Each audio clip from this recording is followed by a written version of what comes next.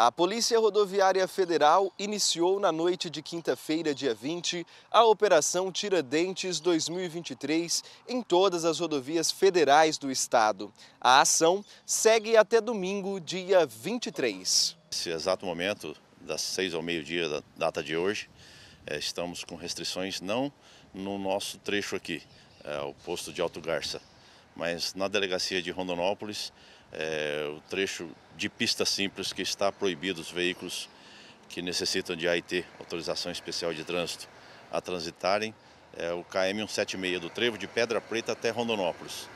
É, esse ano, como no feriado prolongado da Semana Santa, já houve uma inovação aí nessa questão dos trechos com restrições. A gente sabe né, que estas operações ela busca né, esta segurança viária para todos os usuários. Não, positivo, sem dúvida. A importância dessa restrição, ah, como vocês podem ter observado, grande fluxo de veículo pequeno.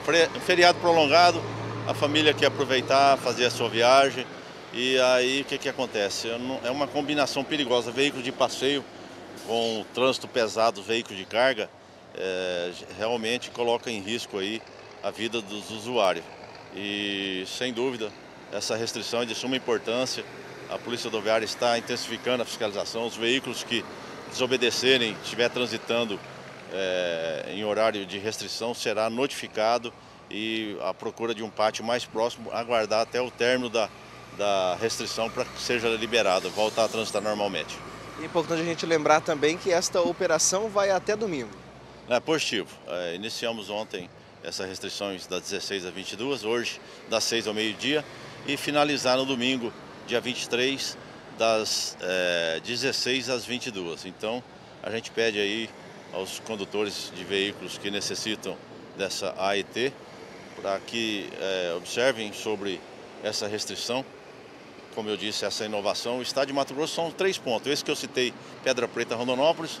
Aí na 070 de General Carneiro, até Cáceres também, é, e de Várzea Grande, 163, até Matupá, no trecho de pista simples, porque ali pega de Rosário Oeste a Posto do Gil, pega um trecho de pista dupla. Então, de Várzea Grande a Matupá, quem estiver transitando aí, é, é, preste atenção, fique atento com esse horário da restrição para que não seja notificado.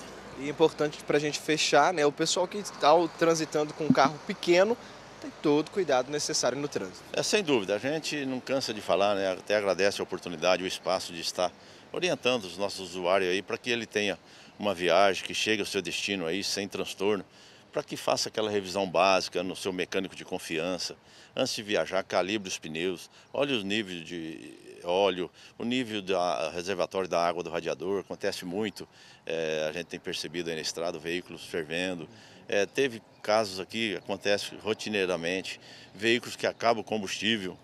O pessoal alega aqui que os postos vêm de São Paulo, de outra região do, do país. É, os postos aqui, a cidade são longe, mas então já prevenindo isso, abasteça, evite o transtorno para que chegue ao seu destino aí, que tenha a sua viagem sem é, transtorno.